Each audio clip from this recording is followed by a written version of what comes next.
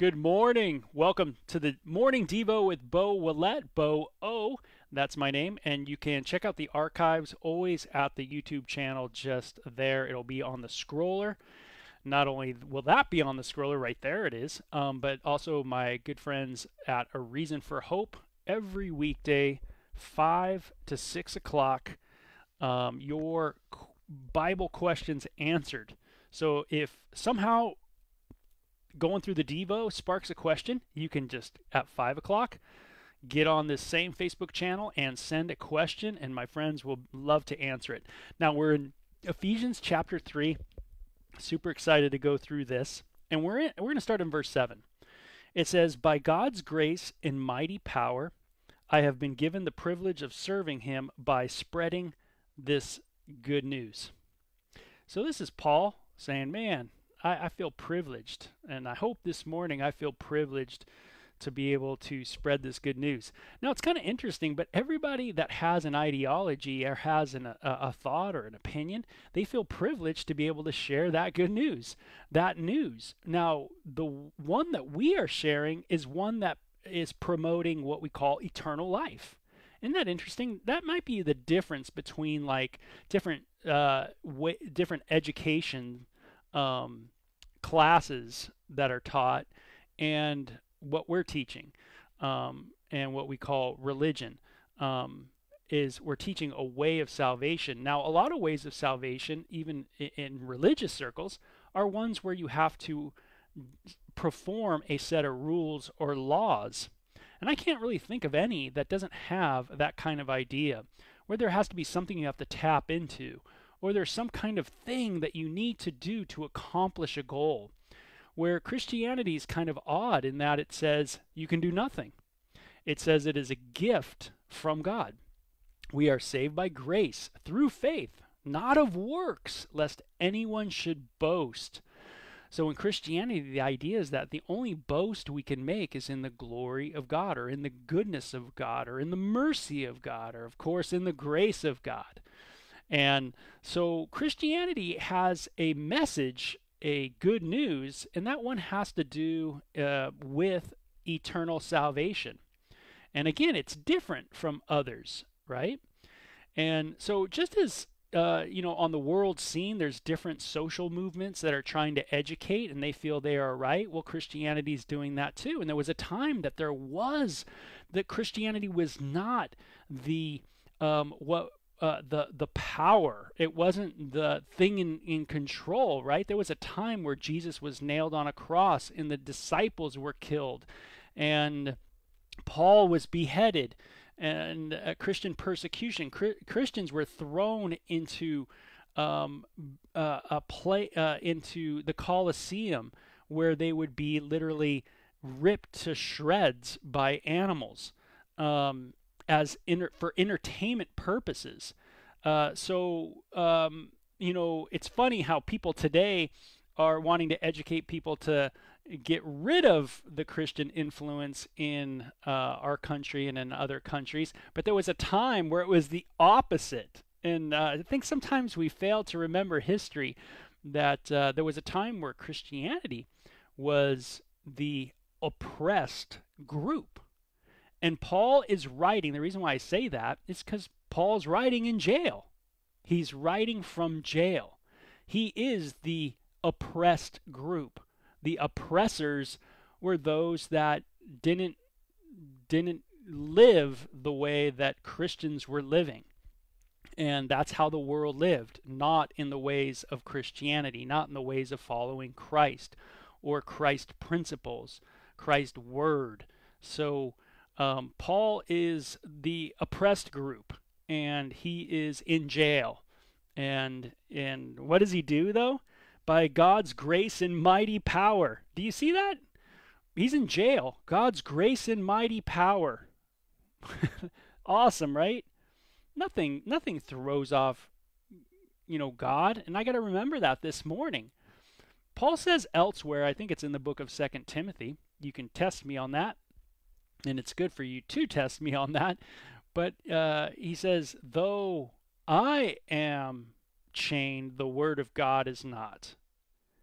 And that's good to know. Paul was chained, but he says the word of God is not. And even though he was in jail, he knew that by God's grace and mighty power that had been he been given a privilege of serving him by spreading this good news. What a privilege it is to be able to share this unique salvation, right? This really unique salvation with people. One that it, it, they do not need to perform good works to enter into the kingdom of heaven, but they need to be born anew, born again.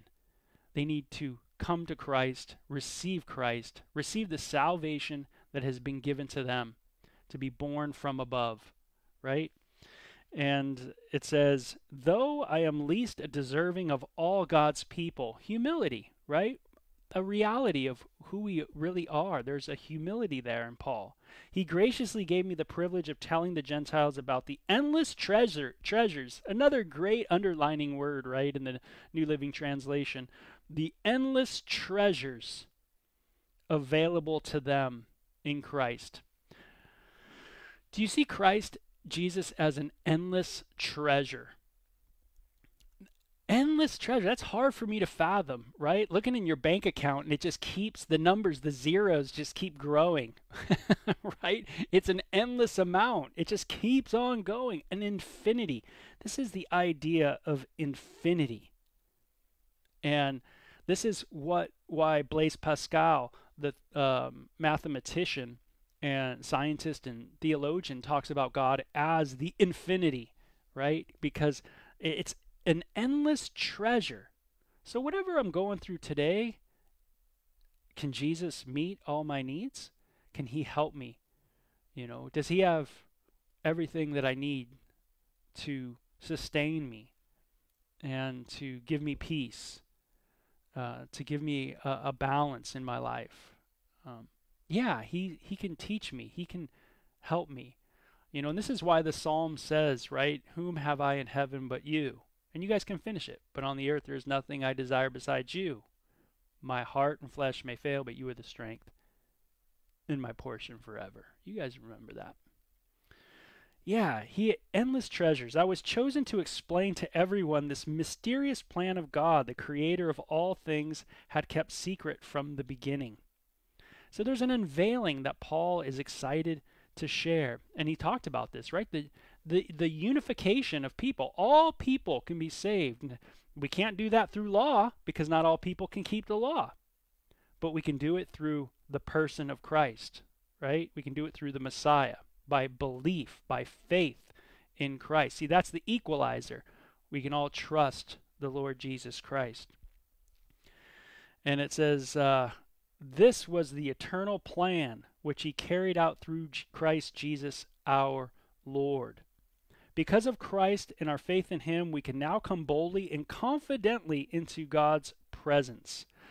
In the Old Testament, they couldn't come boldly and they could not come confidently into God's presence.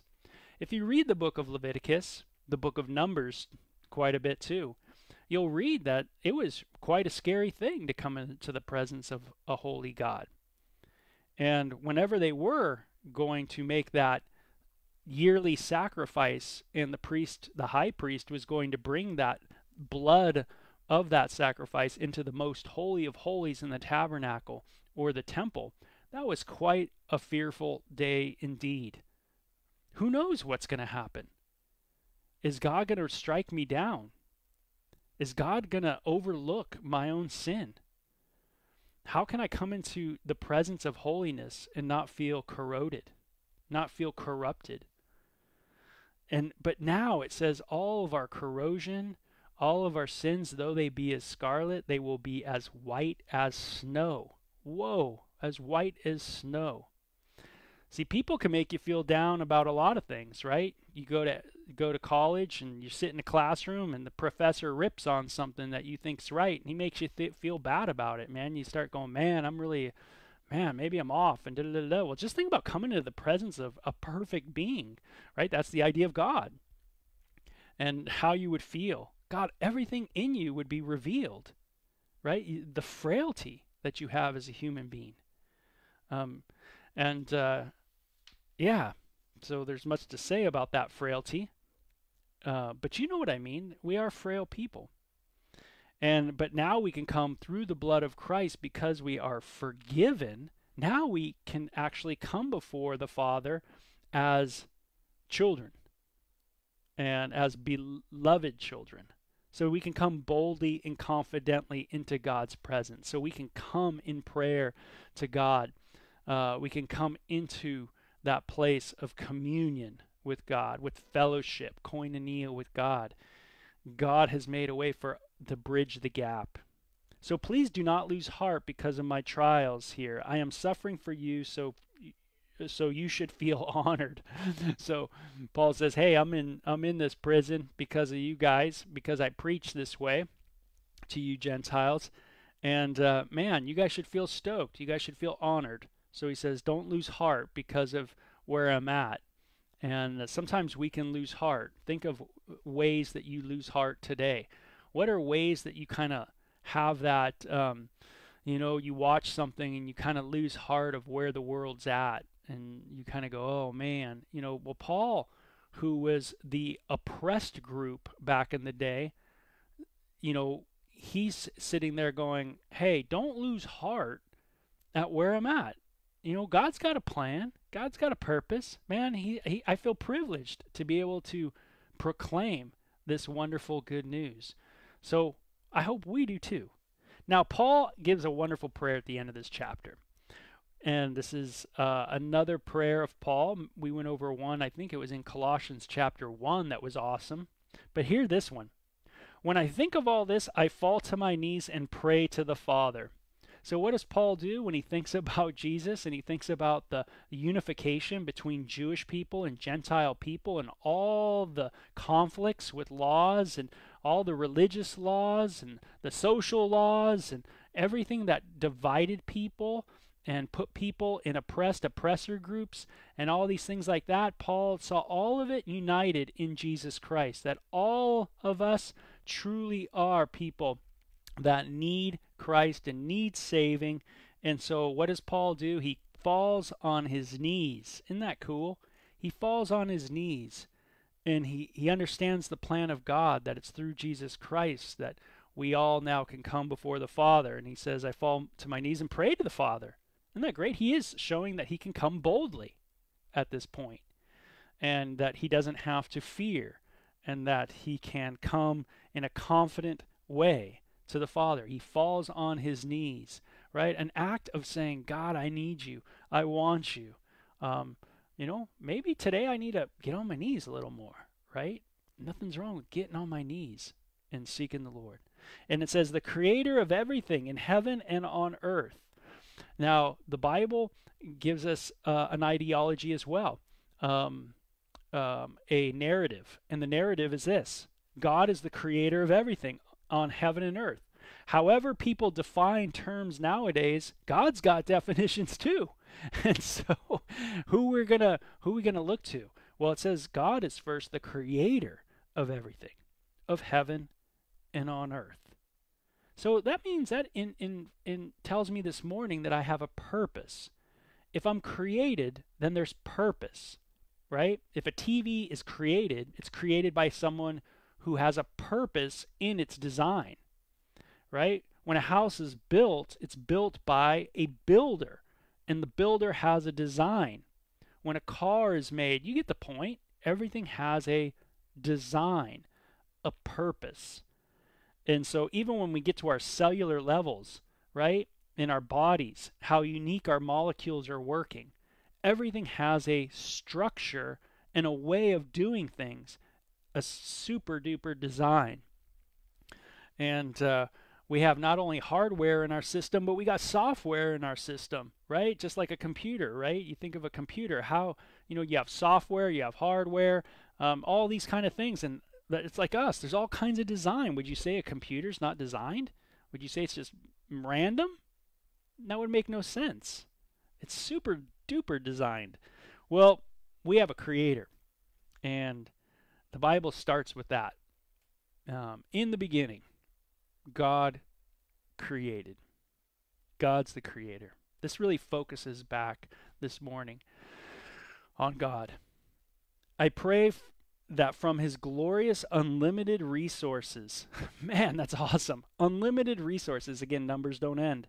He will empower you with inner strength through his spirit. He's going to help you, he's going to get you through.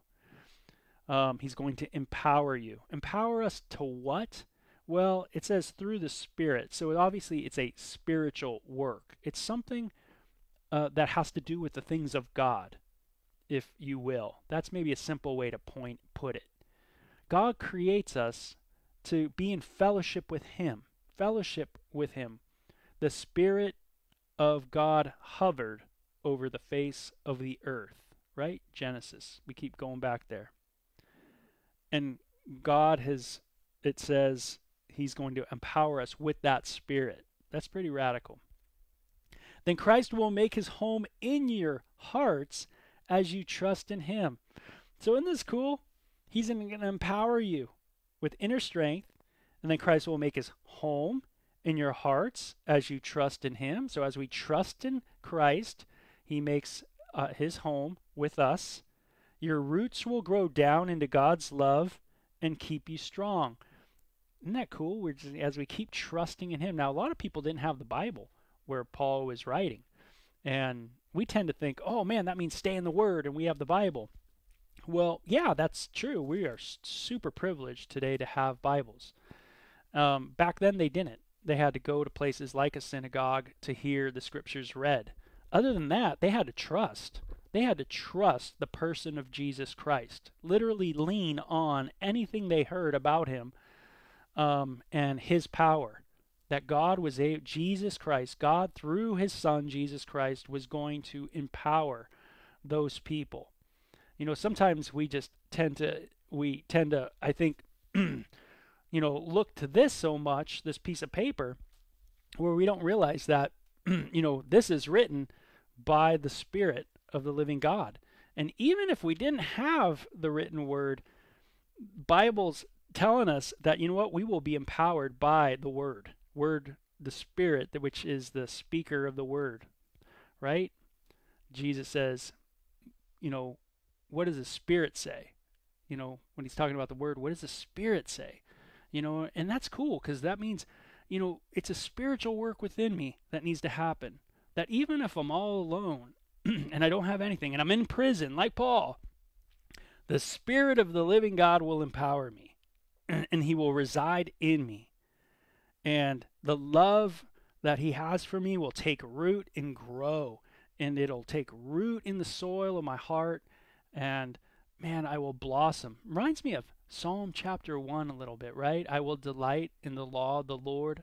I will meditate day and night then like a tree firmly planted i'll be grounded in your word yeah so kind of cool your roots will grow down into god's love and keep you strong and you may have the power to understand all with all of God's people how wide, how long, how high, and how deep his love is. So that's a great verse, verse 18, that you may have the power to understand. What a great prayer for all of us, right? We need power to understand the amazing love that God has for us. It'll never be exhausted. All of heaven, we will be thinking and, and contemplating the incredible love that God has for us, to bridge the gap um, that Jesus has bridged between a holy God and us.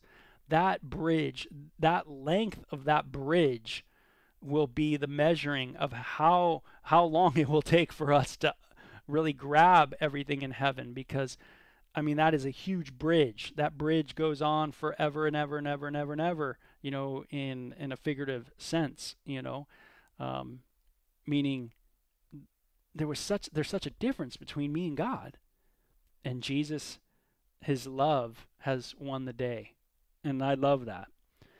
Um, I love a good love story, and I'm sure you do too, and that's what the Bible is. It says, "May you experience the love of Christ." though it is too great to fully understand. So even Paul could not fully grasp. Right now, he knew in part. He only knew in part, a little bit, right? A little bit, right? And it says, Then you will be made complete with all the fullness of life and power that comes from God. So we understand a little bit. It is too great to understand his love fully. Then you will be able to, but man, there will be a time. Then we will be able to be, we will be made complete with all the fullness. There will be a complete fullness of life and power that comes from God that will radiate in our minds and our hearts and it will it's beyond understanding fully now all glory to god who is able through his mighty power to work within us to accomplish in infinitely more than we might ask or think. And that's cool. I like that. God is able to accomplish infinitely more than we might ask or think. See god has a greater plan than even what i have for me today. Um, I might have a plan to serve God and I might have thoughts on what that's going to look like exactly. But I love this, and that is God has a plan that's even greater than my plan. It's infinitely more than what we can ask or what we might ask or think. So, whatever we might come up with, His mighty power within us is going to be greater than that that thought I have. It's going to, at some point, be more mighty. He's going to ac- accomplish something in me that is going to be revolutionary, that no science can touch it. Um, no cyborg, no genetic uh, whatever, um, you know, manipulation. It is a work in us to create us as new people um, that is going to be just an absolute miracle. As one word maybe can sum it up, and that's resurrection. That kind of power. Glory to him in the church and Christ Jesus through all generations forever and ever. Amen. Yeah, glory in the church. Now that sounded radical back in Paul's day because what was the church? They were they were beaten up. They were they were living, the church was living not like everybody else in the world everybody else in the world, all the other nations, all the other people groups were living in different ways. Their marriages were different, like their relational lives were different. Everything was different. The way they did everything was different. The Christians were a odd group. And Paul says, What? Glory to him in the church and in Christ Jesus through all generations forever and ever. Amen. So even in our generation, it should we should glory in him in the church. What should the church be focused on? Jesus Christ. We should be focused on him. We should think of giving glory to the Father through the work in the Son to us. And that's what we should be about. Um, yeah, I mean, what an amazing turn of events, right? This small group of people um, trusting in the work of Christ and the power uh, to literally alter the world in so many ways. Um, look at where we're at today. Uh, and that's uh, come a long way from Paul writing the book of Ephesians in a jail, um, right in uh, in uh, confinement in Rome. I would say there's a lot of mighty power at work going on and think of how many people have come to know Christ and the love of Christ and uh, and want to be like Christ. Um, and the message of the gospel has gone out. And this is what we have the privilege of doing and being a part of. Wow. We definitely are a minority group. Um, and um, and maybe we always will be. Who knows? Um, um, well, that's debatable. There's the millennium, millennial, and then there's heaven. so anyway, you guys take take care. I ended on a real contemplative note there that time. And a really good morning. Hey Marcia, good to have you in. Michael, Jesus. Um, let's see. I saw. I thought I saw Casey. I saw Kurt, and that's really cool. It's great to see Kurt on there, and um, man, really, really good stuff. So I'm off, and you guys have a great one. See you tomorrow, Lord willing. Bye bye.